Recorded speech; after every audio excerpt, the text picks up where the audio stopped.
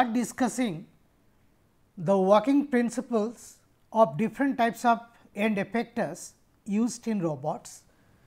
Now, I am going to start with the working principle of a magnetic gripper.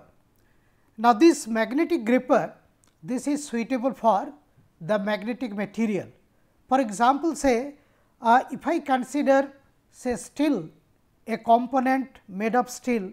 So, this particular magnetic gripper is going to work, but it will not work for the, the stainless steel, because stainless steel is non-magnetic. Now, here we can use both permanent magnet as well as the electromagnet.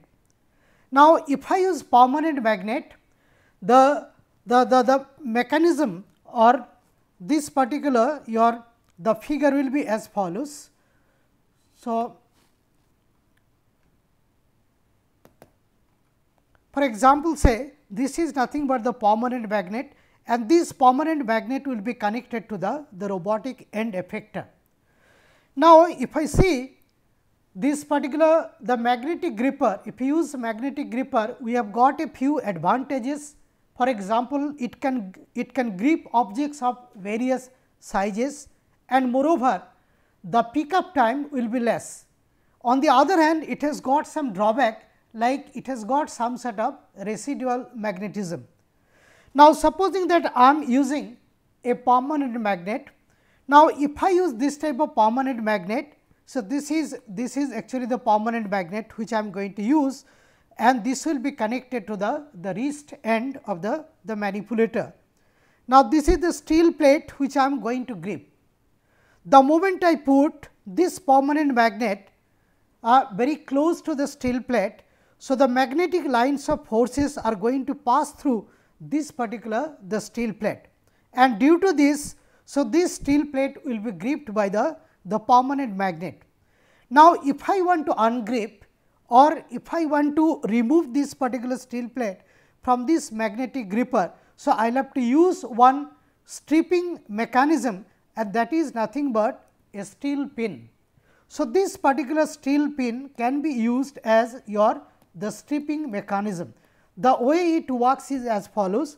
So, here on this particular permanent magnet, I have got one circular hole here, I have got another circular hole here and if I want to ungrip. So, this particular steel pin will be inserted through these uh, two circular holes. The moment we put this particular steel pin, so, some of the magnetic lines of forces will pass through this particular the steel pin and consequently, the strength of the magnetic field passing through the steel plate will be weaker and due to this weakness or weaker uh, of this particular magnetic field and due to the self weight of the steel plate, the steel plate will be separated out from this particular the permanent magnet. Now, this is the way actually we can ungrip. So, this particular steel plate from the permanent magnet. Now, in place of permanent magnet, if I use the electromagnet, so and if I want to grip it, it is okay, but if I want to ungrip, so what I will have to do is I will have to reverse the polarity. So, if I reverse the polarity of the electromagnet, so I am just going to ungrip this particular the steel plate. Now, this is the way actually one magnetic gripper works and its working principle is very simple and uh, this is very frequently used for the magnetic material, but this will not work for the, the non-magnetic material. The next is your the adhesive gripper. Now, this adhesive gripper is suitable only for the light object like uh, the small weight objects and here we use some sort of adhesive material just to just to grip that particular object we take the help of adhesive material. Now, this is almost similar to the situation the way a frog uh, uh, preys uh, its uh, the, the, the way one frog uh, catches its prey. So, on the tongue actually it puts some sort of adhesive material and that particular tongue will be thrown towards the that insect and the insect will be caught with the help of this particular the adhesive material. So, this particular adhesive gripper as I told is suitable only for the, the very light material. Now, then comes your uh, the universal gripper. Now, our hand is actually a true example of this particular the universal gripper, because with the help of our hand actually we can grip different type of object and this particular our gripper that is the hand is universal and it is robust and it is flexible and it can actually grip a number of objects of different shapes and size. And that is why this is a very sophisticated one and our gripper is known as the universal gripper. So, now I am just going to start with the working principle of the passive gripper. Now, this passive gripper is used uh, whenever there is no such sensor. I have already mentioned that by passive gripper we mean those grippers where we do not use any such sensor. Now, before I proceed with this the working principle of this particular gripper, now let us try to understand why do you go for this type of gripper. Now, let me take one very simple example. Now, supposing that I just want to uh, develop one printed circuit board say PCB or the printed circuit board and on the printed circuit board there are some small small circular holes.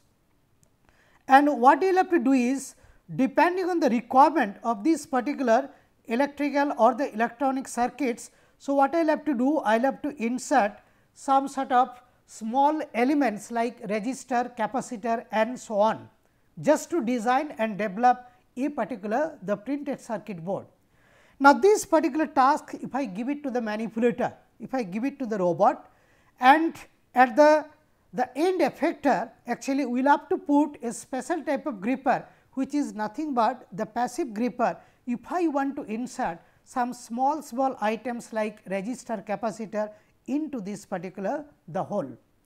Now, here the problem which are going to face is like it is bit difficult to insert a peg into a hole. Now, this particular problem in robotics is actually very popular. So, how to insert a particular peg into a hole. Now, here, so this particular schematic view, uh, it shows that I have got a steel plate and on the steel plate we have got one circular hole. Now, on this circular hole like this, actually we will have to insert this particular the peg. Now, supposing that, so this particular is the center line for this hole and I have got this particular peg which I will have to insert. Now, this peg is actually uh, gripped with the help of the gripper and now the robot is going to uh, just put this particular peg into the hole. Now, if it wants to put this particular peg into the hole, so there is a possibility that this part of the peg is going to collide here and due to this, so it will not be able to uh, insert. So, this particular peg into the hole and this is what is known as your the lateral error. So, the robot will not be able to insert this particular peg into the hole and it will be obstructed here. So, this is called the lateral error. Now, to remove this lateral error actually what we do is we put some chamfering that means here. So, I have I have got this type of plate and I put this particular chamfering sort of thing. So, here I am just going to put the chamfering. Now, if I could just put this particular the chamfering and try to insert this peg with the help of the robot. So, there is a possibility that this particular lateral error, so that will be solved, but it is going to create another problem might be this particular peg is going to take the position something like this and it is going to create another problem another error and that is called the angular error. So, by inserting this particular chamfering there is a possibility we can solve this lateral error, but we are going to face another problem that is called your the angular error. So, how to solve both the errors, so that I can insert so this particular peg into the hole. Now, to do that actually we take the help of uh, one passive gripper and which is very popularly known as remote center compliance and that is nothing but is your RCC in short that is known as RCC. Now, the construction wise it is very simple. For example, say So, this part this is connected to the wrist end of the robot. And here I have got one steel frame setup thing, I have got another frame here steel frame setup thing, I have got another steel uh, plate setup thing of small thickness. And this particular plate and that particular plate are connected with the help of four such links like this. And here we have got two fingers. So, this is finger 1, finger 2 and with the help of these two fingers we just try to grip this particular peg. So, this is actually nothing but the peg. So, this is the peg which I will have to insert into that particular the hole. Now, this is connected to the, the, the wrist end as I told. Now, so this particular peg will be brought very near to the hole and supposing that the hole could be here. So, might be the hole could be here and here actually what we do is, so this particular peg will have some sort of oscillated movement like this and due to this particular oscillation and due to this error and trial. So, this peg will be inserted into this particular the hole with the help of this RCC which is nothing but a passive gripper. Now, this RCC will work provided we just put some chamfering at this particular plate otherwise it may not work and this angle of chamfering has to be less than 45 degree otherwise there could be some sort of angular error. And moreover, so this RCC can work in vertical direction, but it, it will not be working in the, the horizontal direction. But this particular gripper is very popular like just to solve how to insert small small electronic items into that particular the printed circuit board.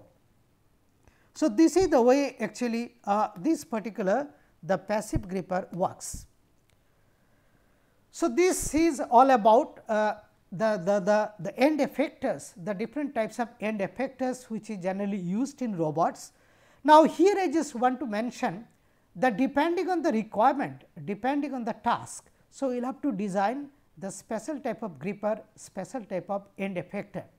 So, the, the working principle of a few gripper, few end effector I discussed, these are actually very simple, very simple design, but depending on the complicated task, depending on the task, the nature of the task, we will have to design the most suitable gripper and that is why we see the task and try to design the, and develop the gripper. Now, I am just going to start with uh, the teaching methods like how to give instruction to a robot. Now, supposing that say I have got say one robot, say one serial manipulator and I just want to give the instruction that you start from a particular point say the tip of this particular the marker and you reach this particular point the tip of this particular the finger through a number of intermediate points. Now, how to give this type of command, how to give this type of instruction to this particular the robot. Now, here actually the purpose of teaching as I told to provide necessary instruction to the robot. Now, these teaching methods are broadly classified into two groups we have got online methods and we have got offline methods. Now, by online methods we mean those methods where while giving instruction, so we use this particular the robot. That means, we are going to teach a particular robot, but while giving instruction or while teaching, so we will have to use that particular the robot. So, that particular method is known as the online method. On the other hand, if I do not use the, the robot, while teaching. So, that particular method is known as the offline method and here in offline method we will have to take the help of some sort of programming language. Now, let me first concentrate on this particular the online methods. Now, these online methods are once again are classified into two subgroups. One is called the manual teaching, another is called the lead through teaching. Now, let me let me try to discuss the working principle of this particular the manual teaching first. Now, supposing that uh, I am just going to use one serial manipulator having say 6 degrees of freedom like Puma and I am just going to do some sort of drilling operation on a steel plate. So, what I will have to do is supposing that, so this is the plate and on this particular plate I want to uh, just uh, do some sort of your drilling here at location 1. So, what I will have to do is, so this twisted drill bit has to be gripped by the gripper of this particular the manipulator and the center of this particular hole and the tip of this particular the, the, the twisted drill bit they should coincide. Now, this is in 3D for example, it has got like x, y and z axis. So, this particular object is in 3D. So, how to reach this particular point a 3D point in 3D space, space with the help of that particular manipulator having 6 degrees of freedom. Now, to reach this particular point in 3D space with the help of your a manipulator having 6 degrees of freedom, there could be several combination of the theta values. For example, say there could be several combination of theta 1, theta 2 up to say theta 6 values with the help of which I can reach this particular point say point 1. And out of all the possible combination of the theta values, if I know at least one, so my purpose will be solved. Now, how to collect this particular the information? To collect the information what I can do is, so I can take the help of manual teaching which is suitable for point to point task and this is nothing but a point to point task. So, there are several methods for this manual teaching. For example, say we can take the help of control handle or joystick. So, with the help of this control handle or joystick through some your error and trial. So, I the the tip of this particular the twisted drill bit will be able to uh, reach the center of this particular hole. The moment it reaches the center of this particular hole, we store all the theta values with the help of optical encoder which are mounted at each of the, the robotic joints. And we measure all such theta values and once you have measured all such theta values corresponding to this particular hole which is to be drilled on this plate. So, what we do is, so we replace this plate by a second one and we make this particular drilled hole exactly at the same location. Then once it is done on the second plate, we go for the third plate and so on. So, for a large number of plates exactly at the same location, so I can make this type of the drilled hole. Now, to collect this particular information of theta 1, theta 2 up to theta 6, we take the help of this control handle which is nothing but a manual teaching. Now, then comes your the push buttons. Now, we have already discussed that for each of these particular robotic manipulator, so there is a director or a controller. Now, on the body of the director or the controller, so there will be a few push buttons and with the help of these push buttons actually we can control the movement of the tip of the manipulator either in Cartesian coordinate system like x, y and z or in joint space like in terms of theta 1, theta 2 up to theta 6. So, we can increase the value of theta 1, theta 2 up to theta 6, we can increase and decrease the numerical values for this x movement, y movement and z movement. Then through some trial and error, the moment it reaches this particular point, so what we do is we store all such theta values with the help of optical encoder. So, this is how to use the push button. Now, next I am going to discuss how to use a teach pendant for the manual teaching. Now, this teach pendant is nothing but uh, one remote controller for this robot. So, just like the remote controller used in TV. So, the look wise almost similar, but slightly larger in size. Now, this teach pendant can be operated either in the Cartesian coordinate system or the world coordinate system that is in x, y and z. It can also be operated in the joint scheme that is in terms of theta 1, theta 2 up to theta 6. It can be operated in your the tool coordinate system and so on. So, we will have to select a particular uh, operating system or the coordinate system and then using this particular teach pendant. So, manually we can control the movement of the different joints. The moment it reaches the tip of this particular the cutting tool reaches the center of the hole. So, what we do is your we store all such theta values with the help of optical encoder and the same set of theta values we use for a large number of plates. Now, this is the method of your the how to use the teach pendant to, to solve to incorporate the manual teaching. Now, I am just going to discuss the principle of another online method that is called the lead through teaching. Now, for this lead through teaching uh, actually this is suitable for uh, some sort of your the continuous path task which I have already discussed and for this particular continuous path task the tool should be in touch with the job continuously. Now, let me let me take the same example which I took for this particular the continuous path task.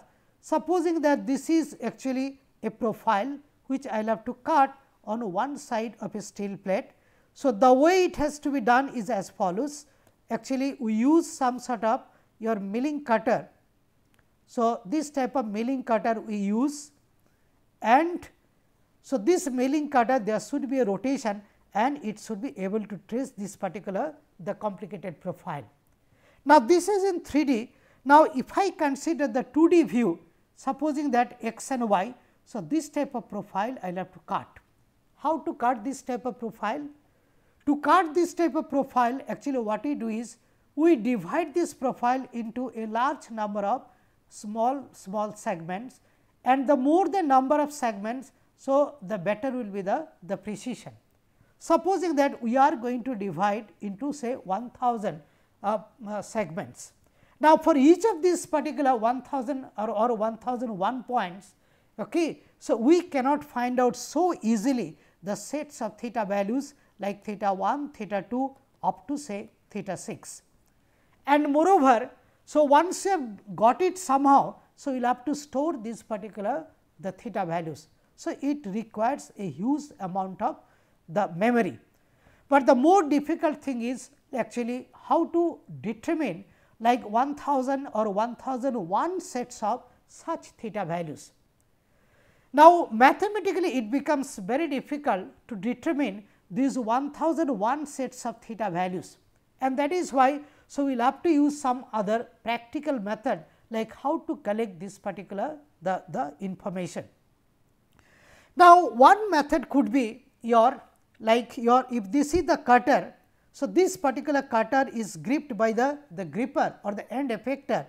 Now, here so this particular cutting tool so, it is going to trace this complicated profile. Now, we can try if this is the cutter. So, I can just grip it and try to trace this complicated profile which I am just going to uh, uh, cut. Now, if I want to trace this complicated profile uh, uh manually it becomes very difficult because at each of the robotic joint there are some motors, there are some brakes there could be chain drive, gear drive, belt drive and so on. So, it becomes very difficult like if I just grip it and try to move according to my choice. So, it becomes very difficult to move manually. Then how to trace? How to trace this particular complicated profile? And if I can trace this complicated profile which I am going to cut and while tracing at regular interval. So, if I can store the theta values with the help of optical encoder. So, I will be able to collect the sets of all sets of theta values and once you have collected those sets of theta values.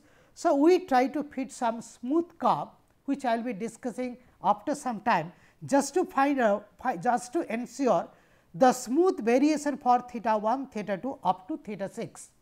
And once you have got that smooth variation, now I can operate and I can I can I can run that particular the robot. But here the problem is that we will not be able to trace this complicated profile. Now, uh, actually one method has been suggested that uh, we are going to use one uh, manipulator, a second manipulator that is called the robot simulator. Now, this robot simulator is actually not a simulation package. So, this is actually a physical robot and this particular robot is kinematically equivalent to the main robot which I am going to teach. And by kinematic equivalence we mean, so both the main robot and this particular robotic simulator are having the similar type of joints, similar type of links, but this robot simulator could be uh, in 1 is to 1 scale with the main robot or it could be scaled up version or scaled down version. Now, in this robotic robot simulator actually there is no such motor, there is no drive unit, but at each of the joint we have got the optical encoder. Now, if you have the optical encoder at each of the joint, but there is no such drive unit, there is no such gear, no brakes, nothing. Now, I can I can just grip this particular uh, the end effector or the this particular cutter which is connected to the end effector and I can trace the complicated profile which I am going to cut. And while tracing at regular interval with the help of optical encoder, I am just going to store these particular the theta values. Now, this is actually what is known as actually the lead through teaching. Now, this robot simulator is actually uh, the, the, the master robot and the main robot which I am going to control that is called actually your the slave robot and this is in fact the working principle of master and slave robot. Now, so this is actually the lead through teaching. So, both lead through teaching and manual teaching are coming under the umbrella of your the online uh, methods. Now, I am just going to concentrate on your the offline method and here in offline method actually we will have to use some sort of programming language. Now, if you see the offline method, uh, so you will have to use some programming language just like your computer program.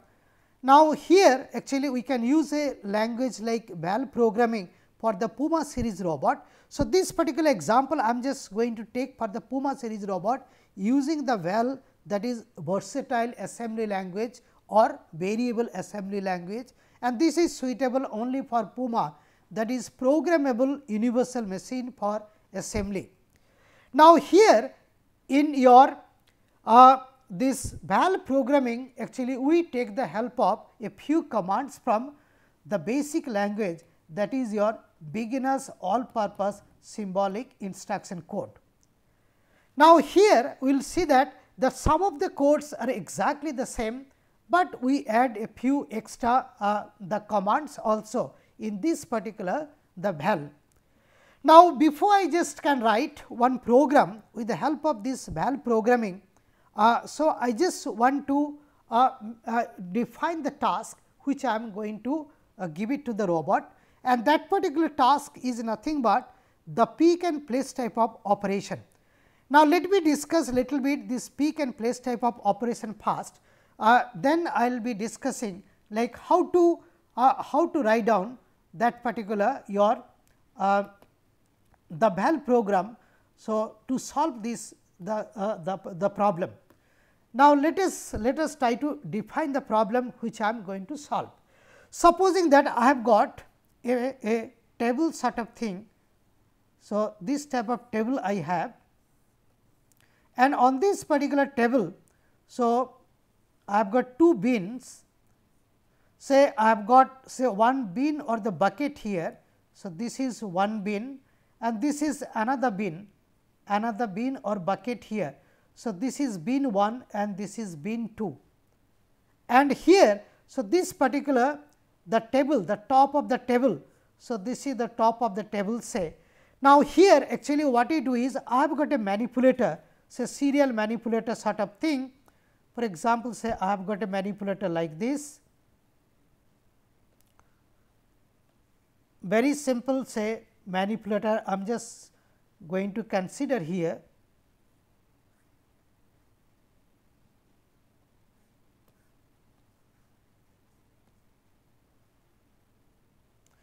Supposing that I have got a this type of manipulator and here we have got this particular your the gripper or the end effector.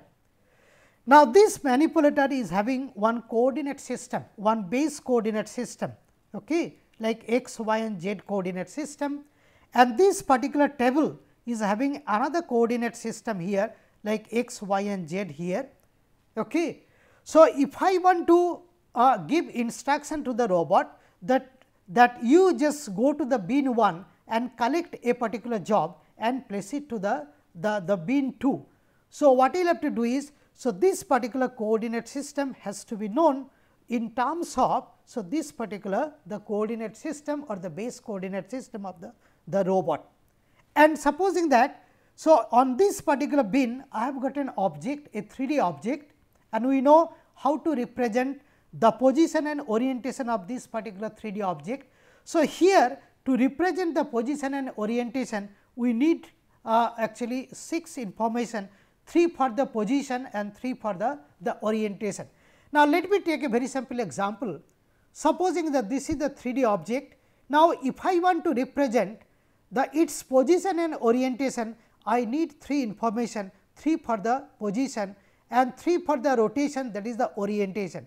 So, I need 6 information.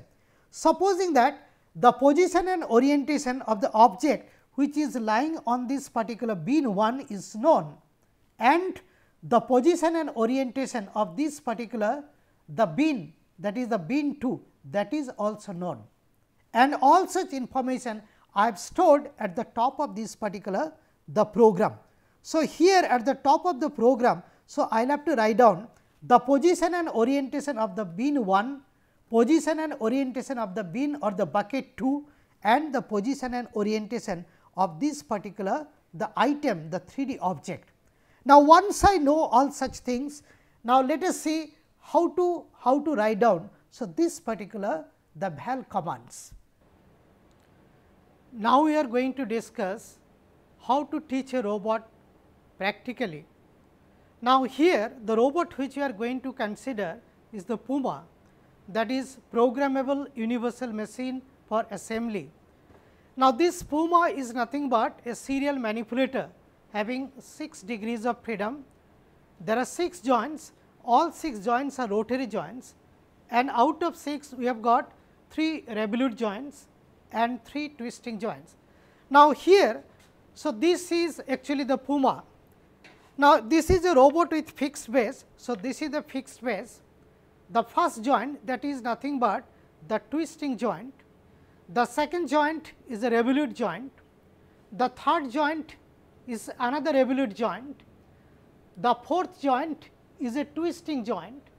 The fifth joint is another revolute joint and here we have got one twisting joint. So, we have got 6 joint, each joint is having 1 degree of freedom.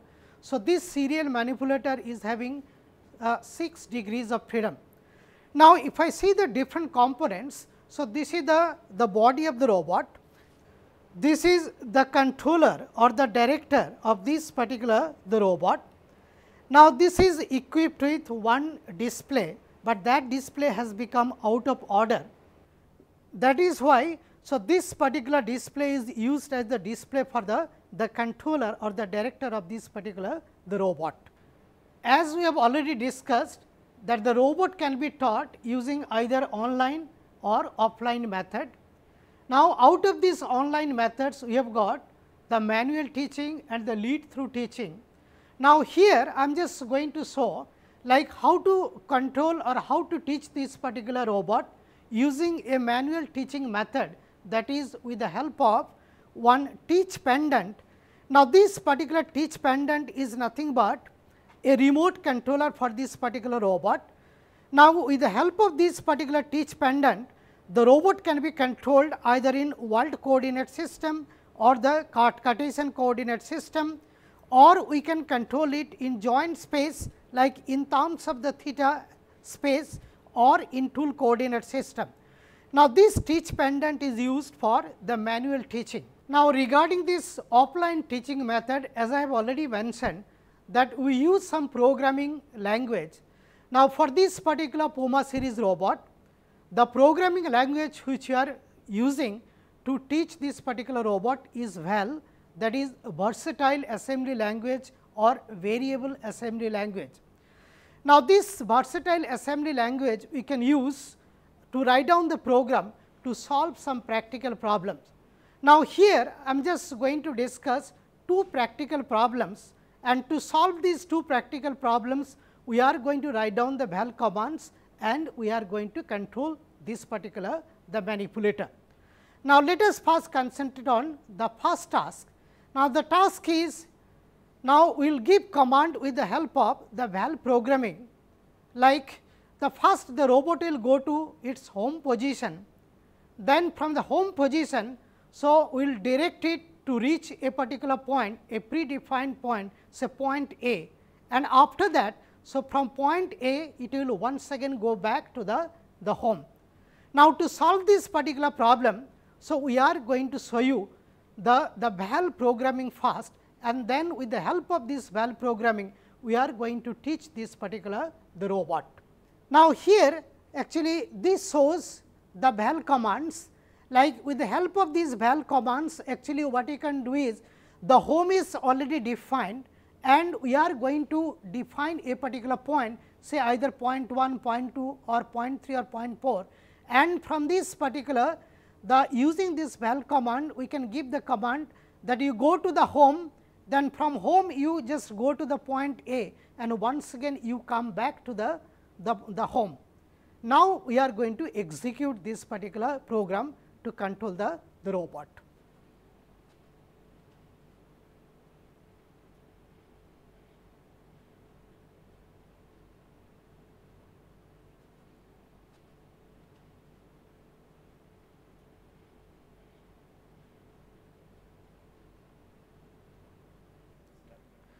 The second task is related to the pick and place type of operation.